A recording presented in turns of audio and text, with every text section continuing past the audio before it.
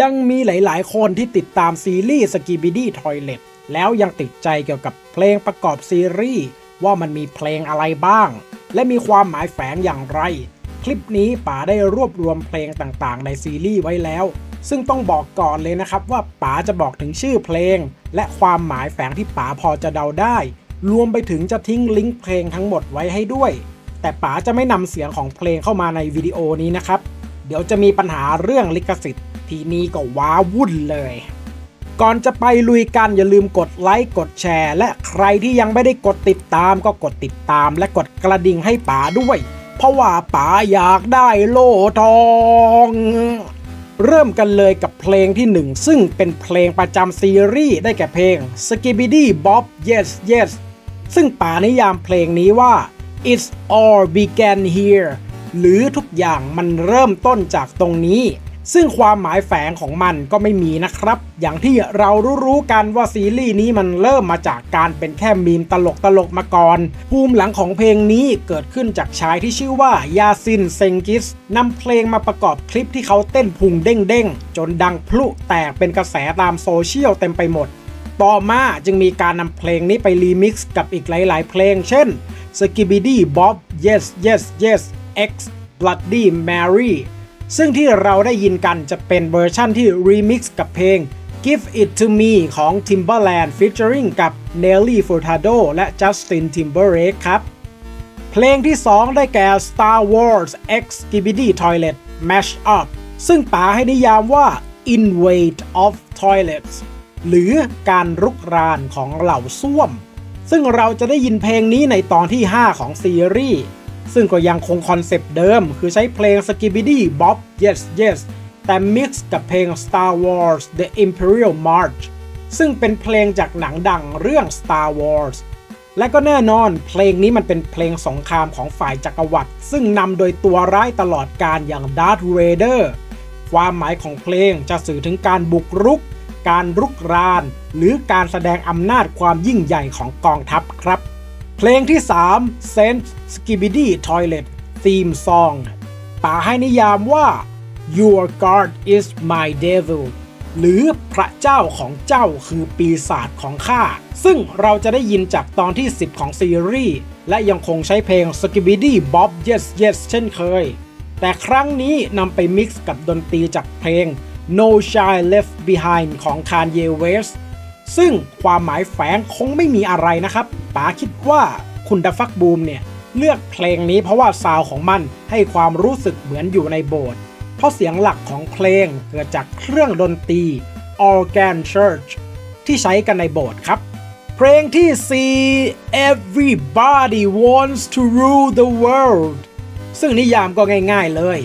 Speaker Man Theme หรือเพลงของเผ่า Speaker Man เราจะได้ยินเพลงนี้ครั้งแรกในตอนที่ 24 นะครับ ซึ่งเป็นตอนที่เผ่า Speaker Man ปรากฏตัวออกมาครั้งแรก ซึ่งความหมายของเพลง Everybody wants to rule the world จะสื่อถึงการโหยหาอำนาจของเหล่าผู้นำประเทศมาหาอำนาจ ซึ่งตอนนั้นได้แก่อเมริกาและรัสเซีย ซึ่งทั้งสองประเทศพร้อมจะทำทุกอย่างให้ได้มาซึ่งอำนาจโดยไม่สนวิธีการใด ๆ ทั้งนั้น ซึ่งฟังดูไร้มนุษยธรรมมาก ๆ จนทำให้เกิดสงครามเย็นเกิดขึ้นในช่วงปี 80 เพลงจึงบอกเราอย่างตัดพ้อให้เห็นถึงสัจธรรมของโลกที่เราอยู่ว่า everybody wants to rule the world หรือใครๆก็อยากจะครองโลกกันทั้งนั้นแหละ ซึ่งป๋ามองว่าเผ่า Speaker Man เป็นตัวแทนของคุณดาฟักบูมนะครับ ที่จะมาอธิบายผู้ชมถึงต้นเหตุว่าทำไมเหล่า Skibidi Toilet ถึงต้องรุกรานโลก บางที่อาจจะเป็นเหตุผลง่ายๆ แค่ว่า ใครๆก็อยากครองโลกกันทั้งนั้นแหละ เพลงที่ 5 A Pain That I'm Used to หรือเพลงของ Speaker Spider ได้ยินครั้งแรกตอนที่ 25 ซึ่งเป็นตอนที่ Speaker Spider โผล่ออกมาโชว์พาวให้พวกเราเห็น แค่ได้ฟังก็รู้แล้วว่าเพลงนี้มันดุดันแบบไม่เกรงใจใคร ความหมายของเพลงมันเกี่ยวกับผู้คนที่กำลังเศร้าและสับสนในตัวเองจนดำดิ่งไม่อาจกูกลับ และเฉยชาไปกับความเจ็บปวดที่เขากำลังเผชิญ ซึ่งป๋าไม่อาจหาความเกี่ยวโยงของเพลงนี้กับเนื้อเรื่องได้เลยนะครับ ที่คุณดฟักบูมเลือกเพลงนี้อาจจะเพราะแค่ซาวมันดุดันไม่เกรงใจใครเท่านั้นแหละมั้งใครหาความเชื่อมโยงของเพลงกับเนื้อเรื่องได้ เม้นบอกป๋าด้วยนะครับ เพลงที่ 7 Burning Bridges เพลงประจำเผ่า TV Man ได้ยินครั้งแรกตอนที่ 39 พร้อมกับการปรากฏตัวอย่างเป็นทางการครั้งแรกของ TV Man ไม่ว่าจะเป็น TV Man ไวฟูลาร์กทีวีแมนหรือไททันทีวีแมนก็จะเปิดตัวด้วยเพลงนี้ตลอด ซึ่งความหมายของเพลง Burning Bridges จะสื่อถึงการเปลี่ยนแปลง การทิ้งอดีตไว้ข้างหลัง เพื่อเผชิญกับสิ่งใหม่ ๆ เพื่อเติมเต็มความปรารถนา ความเชื่อมโยงของเพลงนี้กับเผ่าทีวีแมนป๋าขอแยกออกเป็น 2 ประเด็นนะครับหนึ่งเลยคือซาวของตัวเพลงมันทำออกมาได้น่าพิศวง ลึกลับเหมือนกับ character ของเหล่าทีวีแมนเลย อันนี้ขอยกเว้น waifu ไว้หนึ่งคนนะ เพราะว่าน้องน่ารักสดใสไม่เข้ากับเพลงเลย 2. ก่อนที่ทีวีแมนจะออกมาช่วยฝั่ง alliance รบ เราจะเห็นว่าเขาจะแอบดูฝั่งอาริยันส์อยู่ห่างๆ ไม่ออกมาช่วยเหลือในทันที เหมือนขอดูท่าทีก่อน อาจจะเพราะว่าเผ่าทีวีแมนจริง ๆ แล้วเขาไม่ได้อยากจะมีส่วนร่วมเกี่ยวกับสงครามนี้เลย แต่สุดท้ายก็ต้องยอมรับความเปลี่ยนแปลง และเข้าร่วมกับฝั่ง Alliance ต่อสู้กับพวก Skibidi Toilet เพลงที่ 7 Try It at Dawn Slow ป๋าให้นิยามเพลงนี้ว่า What have I done หรือนี่ฉันทำอะไรลงไป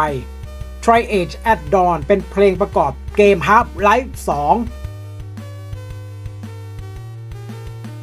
เพลงนี้จะเปิดตอนท้ายของตอนที่ 57 ในตอนที่พี่ร้องได้สติคืนมา และรับรู้ถึงความเสียหายที่เขาได้ก่อไว้กับพักพวกของเขา เนื่องจาก Try Age at Dawn มีแต่ทำนองและไม่มีเนื้อร้อง จึงไม่มีอะไรเกี่ยวข้องกับเนื้อเรื่องนะครับป๋าคิดว่าที่คุณ DaFuq!?Boom! เลือกเพลงนี้ประกอบฉาก เพราะอารมณ์ของเพลงมันเข้ากับสถานการณ์เฉยๆ หรือถ้าใครหาความเชื่อมโยงได้เม้นบอกป๋าได้เลยนะ หมายเหตุเพลงที่ 7 Triage at Dawn มันจะมีเฉพาะในเวอร์ชัน full video นะครับ ถ้าเกิดเพลงอื่นเนี่ย จะต้องไปฟังในเวอร์ชัน short นะ เพลงที่ 8 Never Let Me Down Again ป๋าให้นิยามเพลงนี้ว่า The Comeback of Speaker Man หรือการกลับมาของเผ่า Speaker Man เพลงนี้เป็นเพลงประกอบฉากของตอนที่ 59 ที่ทำให้เหล่าบรรดาแฟนๆ ประทับใจสุดๆ เนื่องจากเป็นตอนที่เหล่า Speaker Man ได้เดินออกมาพร้อมกันหลังจากที่เราไม่ได้เห็นภาพแบบนี้มานานแสนนาน ความหมายของเพลง Never Let Me Down Again จะสื่อถึงการผจญภัยกับเพื่อนสนิท ซึ่งผู้เล่าแฝงความคาดหวังไว้กับเพื่อนว่าเพื่อนสนิทของเขาจะไม่ทำให้เขาผิดหวังอีก ความเชื่อมโยงที่ป๋าปฏิติดประต่อได้น่าจะหมายถึงความคาดหวังของพี่ใหญ่ที่มีต่อพี่รอง หวังว่าอย่าให้พี่รองต้องตกไปอยู่ในสถานการณ์แบบเดิมอีก และล่าสุดเลย เพลงที่ 9 Running Up That Hill เพลงเปิดตัวของ Speaker Girl ไวฟูประจำเผ่า Speaker ซึ่งป่าว่าทำนองเพลงมันเข้ากับน้องดีนะ ทีนี้มาดูความหมายของมันกัน Running Up That Hill คือเพลงที่บ่งบอกถึงความสัมพันธ์ระหว่างชายหญิง ซึ่งก็แน่นอนบทบาทของเพศมันไม่เหมือนกันนะครับ และเป็นปกติของความสัมพันธ์ มันก็ต้องมีวันที่ไม่เข้าใจกันบ้าง ต่างฝ่ายก็ต่างอยากให้อีกฝ่ายรู้สึกเหมือนตัวเอง ในเพลงจึงมีท่อนที่บอกว่า ถ้าเป็นไปได้ฉันอยากจะขอให้พระเจ้าสลับบทบาทของเรา เพื่อที่จะให้ทั้งคู่ได้รู้จริง ๆ ว่าถ้าเป็นอีกฝ่ายเนี่ยมันจะมีความรู้สึกเป็นยังไงสำหรับความเชื่อมโยงของเพลงกับเนื้อเรื่อง อืมป๋าหาความเชื่อมโยงไม่ได้อีกแล้ว หรือจริงๆ Speaker Girl จะมีภูมิหลังเกี่ยวกับ Speaker Man บางคนหรือเปล่านะ อันนี้เราต้องติดตามกันต่อไปนะครับ เอาล่ะก็จบกันไปแล้วนะครับสำหรับการรวมเพลงที่ใช้ในซีรีส์ Skibidi Toilet สำหรับความหมายแฝงต่างๆ ที่พูดไปในวิดีโอนี้นะครับมันเป็นความรู้สึกแล้วก็การคาดเดาของป๋าโดยส่วนตัวเองนะครับ ซึ่งมันจะถูกจะผิดเนี่ยมันก็ยังไม่มีใครบอกได้นะครับ เพราะคุณเดอะฟักบูมเขาก็ไม่ได้แจ้งไว้เป็นรูปธรรมนะครับว่ามันจะสื่อถึงอะไร แต่มีอย่างหนึ่งที่ป๋าชอบมากเลยสำหรับเพลงพวกนี้ก็คือเออมันเป็นเพลงยุค 80 90 นะครับ เป็นเพลงเก่าทั้งนั้นเลย แล้วก็เพราะนะ เพลงที่คุณดับฟักบูมเขาเลือกมาป๋าถือว่าคุณดับฟักบูมเนี่ย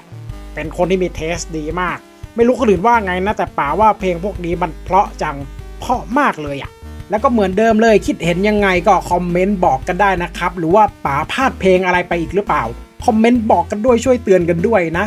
สำหรับใครที่ชอบคลิปนี้ก็เหมือนเดิมอะกดไลค์กดแชร์กด Subscribe กดกระดิ่งด้วย แล้วเจอกันใหม่คลิปหน้า สวัสดีครับ